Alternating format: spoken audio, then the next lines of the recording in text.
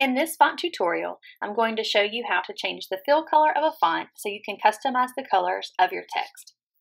So I'm going to start with a pre-formatted text and I'm going to double click the text box to open up the format shape menu. From here, I'm going to select text options and then select text fill. Be sure that solid fill is selected. Then open up your color palette and choose a color.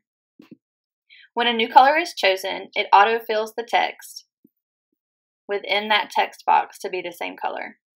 If you want to change each letter to be a different color, highlight the individual letter, return to your color palette, and select a new color.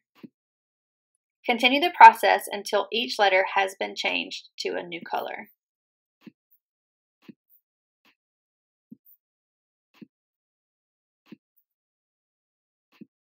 From here, if you want to select an outline color, either highlight the entire text box or double click the text box.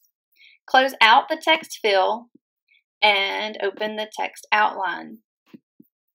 You want to select solid line, open up your color palette and choose a color, and then you'll see your outline. If you would like it thicker, use the up arrow to go up, and if you would like it thinner, use the down arrow until you get it how you like it.